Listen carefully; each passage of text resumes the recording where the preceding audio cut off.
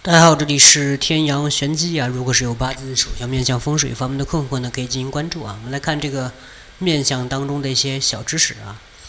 我们看额头高耸啊，在相学当中呢，是代表早年的运势和福气啊。在老一辈眼中啊，更是以额定贵的说法啊。额相端正高耸啊，明亮有光泽。一般这样的人呢，思维逻辑能力强啊，聪明有头脑，自身的财运呢也是非常的。不错，还会有自己的这个投资理财的能力，在生意场上更是有自己的生存之道啊！无论是哪个行业，都能够混得如鱼得水，而且是这个越过越富有啊。第二个特点就是眉毛清秀，在相学当中，一个人眉毛长得清秀，眉形端正啊，这样的人脾气性格比较温和啊，对待金钱的把控能力也是比较强的。一旦看到比较出色的投资理财机机会啊。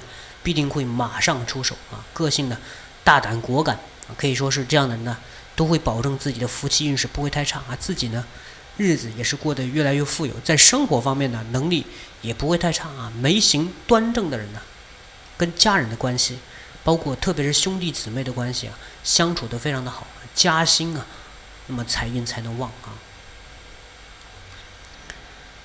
还有就是田宅宫饱满啊，田宅宫是位于眉眼之间的，代表一个人的田宅和房产的这些基础的运势啊。那么这个田宅宫的位置饱满、明亮、有光泽，这样的人呢，聚财能力出众，而且呢多半会有偏财，尤其是在投资理财方面更加的容易获益。所以说，一般呢他们金钱的运势是比较出色的，容易大富啊。现在跟这个房产固定资产挂钩的这个运势啊，这都是大富啊。招风耳啊，这个是在相学当中，招风耳一般呢是带着这个不好的这种感情运势。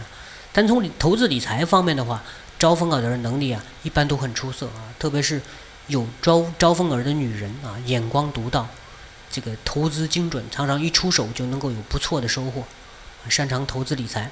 那么最后一个呢，就是我们经常讲到的双下巴。双下巴就是指下巴的浑厚有微有肉啊，呈现双层。下巴长得越是厚实啊，他们聚财存钱的能力是越强啊。家中家中啊，多半会有一些不少的不动产啊。这种能够保证啊一生啊财运是非常兴旺的。长长有双下巴的人，晚年的夫妻运势也是非常的深厚啊，儿女的成就都不低，晚年能够过上衣食无忧，能够享清福啊，实现多子多孙的愿望。我们说这个，对于一个人来讲啊，无非是两样东西，一个是人啊，一个是财啊，发财发人啊。那么发财又发人的话，这种就是双下巴的这种经常有的运势。好了，有关这个面相当中的小知识就分享到这里啊。这里还是天阳玄机啊，如果是有困惑可以进行关注，我们下期再见。